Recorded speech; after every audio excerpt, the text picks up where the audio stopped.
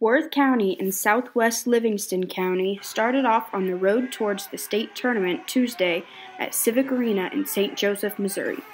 Southwest Livingston started off strong, trailing by just one after the first quarter, but taking and holding the lead up until the fourth quarter.